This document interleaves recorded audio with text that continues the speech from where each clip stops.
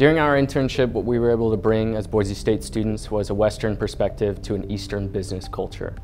During our stay in Taiwan, we were able to transcend their social barriers.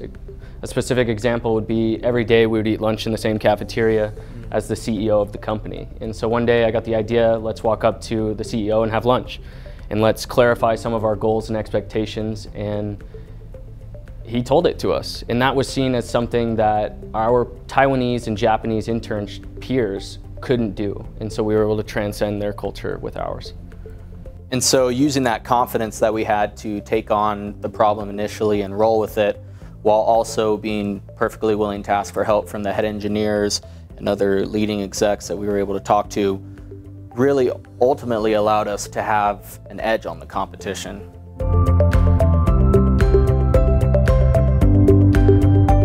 As lifetime students, we've learned a lot of skills throughout our academic career. Specifically, a a challenge that we faced in Taiwan was the language barrier. And so we were able to use some of our word processing and graphic skills to create a tailored business consulting pitch uh, that touched on the COBE problem solving model. We were able to identify their opportunity to solve a problem, generate solutions, and present them in a professional manner.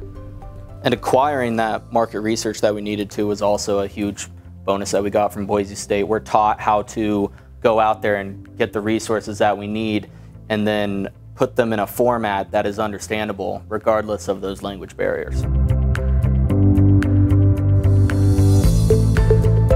Bringing it back to Boise State, we were able to actually implement some of that consulting plan that we did in Taipei. Uh, so we were able to generate solutions and present them professionally, and they were able to choose one of those solutions. So now we're actually working as development agents here in Boise, trying to close that performance gap between recent grads and Industry 4.0 first year workers. And so with that, the collectivistic versus individualistic mindset that we've talked about a little bit, it's one thing to talk about it in the classroom, and you hear a lot about it, especially in international business, but actually experiencing it is a totally new beast. And so being able to go over there and tackle that problem and see the situations that we could get into and out of was a really good experience that we're able to bring back to Boise State. Our future goals, specifically as any graduate, is to find a job. And so this internship gave us the opportunity to handcraft our first career step and give us that landing pad after graduation. And that takes a lot of confidence. So we had confidence going over there that we could tackle a problem, but we didn't know for sure.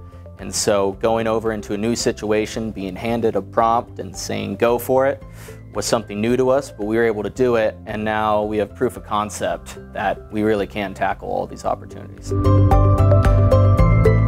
I think one of our big final thoughts is we really look forward to the future opportunities that students will have here, especially based on ours, and we really appreciate Boise State being willing to provide these to us.